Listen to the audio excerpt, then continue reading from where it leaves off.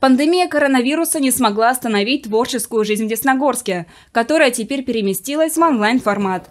3 ноября Атомград Смоленщины принял участие в фестивале-конкурсе «Вокальная эстафета», который организовал концерн «Росэнергоатом». Мероприятие приурочено к 75-летию атомной промышленности России. Сердце как песня.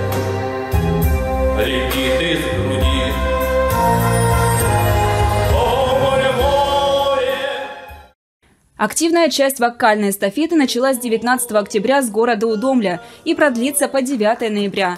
Фестиваль объединит творческих работников 9 атомных станций России, у которых будет возможность проявить себя в сольных выступлениях.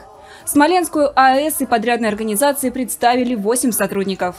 Наступит день,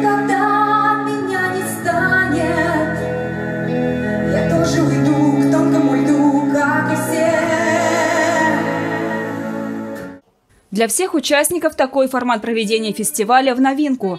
Нет зрителей, нет жюри, только камеры и родная сцена. Фестиваль проходит в заочной форме из-за действующей особой эпидемиологической обстановки. Как всегда, участие в конкурсах волнительно. Но здорово, что все-таки этот конкурс до нас доехал, потому что мы очень переживали, что и он тоже отменится в этот нелегкий год. В нынешнее время пандемии Хотя бы так надо как-то поддерживать вот этот вот культурный уровень музыкальный. Видеозаписи всех конкурсных номеров позже оценит компетентное жюри, в состав которого вошли признанные специалисты в области вокала. А победитель будет известен 21 ноября.